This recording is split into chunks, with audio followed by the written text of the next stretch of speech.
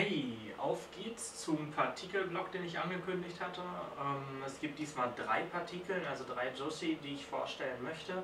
Die haben allesamt gemeinsam, dass man sie an die Rentai-Kei anschließt.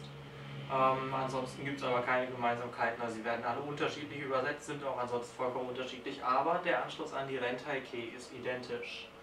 Ähm, Im ersten Teil geht es um die Partikel Ga, steht hier. Wie gesagt, wird an die Rentai-Kei angeschlossen, deswegen steht hier Keru, die Rentai-Kei von Keri. Und ähm, das ist angeschlossen an die Renyo-Kei von Ari, also sich irgendwo befinden. Ähm, der Satz insgesamt stammt aus dem Heike Monogatari, das ist also eine Kriegererzählung und äh, eine der Hauptfiguren ist äh, Kiso, einer der Kriegsherren dort. Ähm, und ähm, der bekommt eine Nachricht und reagiert dann entsprechend darauf. Ähm, es ist so bei subordinierenden Partikeln, wir haben halt den Teil davor und den Teil danach und einer davon ist Hauptsatz und einer ist Nebensatz.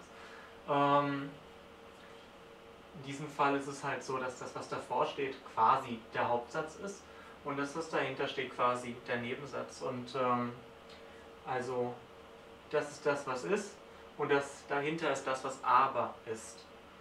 Ähm, gehen wir erstmal in den Teil dahinter. Äh, Koreo Kikite, da haben wir die Partikel T hier am Ende des ersten Teils, die ist äh, koordinierend, also Kikite, hören und. Und dann Hasemuko, das ist ein bisschen komplexer. Ähm, das ist eine Zusammensetzung aus zwei Verben mit der Renyoke. Renyoke hatte ja unter anderem die Funktion, ähm, Verbverbindungen zu bilden. Ähm, Muko heißt irgendwo drauf zugehen oder auf ein gewisses Ziel zusteuern und Hasse galoppieren, also auf Pferden irgendwo hineilen. Man kann ja dann Hasse Muko mit äh, irgendwo hin galoppieren übersetzen. Und ähm, hier haben wir eine relativ große Zahl. Go-Mann 50.000, Amari mehr als 50.000 und äh, Ki ist eigentlich ein Zähleinheitswort für berittene Krieger, also so für Reiter oder Ritter, wenn man das so sagen möchte.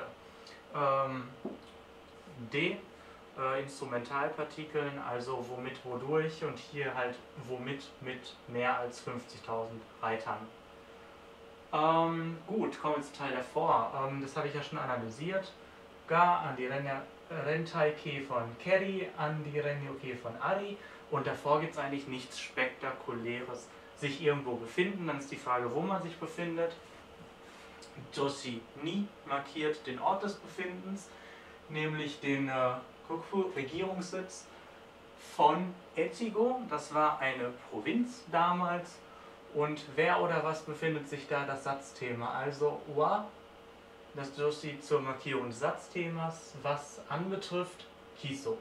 Also, was Kiso anbetraf, so befand er sich zwar im Regierungssitz der Provinz Echigo, aber, und dann Klammer auf, als Klammer zu, ähm, er dies hörte, oder aber er hörte dies und eilte mit mehr als 50.000 Mann dorthin.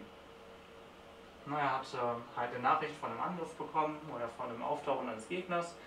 Und äh, als er diese Nachricht bekommen hat, befand er sich zwar in äh, Echigo, aber als er das hörte, aber er hörte das und dann eilte er dorthin. Das wäre die Übersetzung des Satzes aus dem siebten Kapitel des Heike Monogatari. Und äh, damit hätte ich dann das Joshi Ga zur Einleitung oder Bildung eines adversativen Nebensatzes vorgestellt. Es gibt auch nur einen Beispielsatz zu gar, weil das die einzige Funktion ist, die gar hat und es ist ja relativ einfach und offensichtlich, wie es funktioniert. Und dann gehe ich gleich zum nächsten über.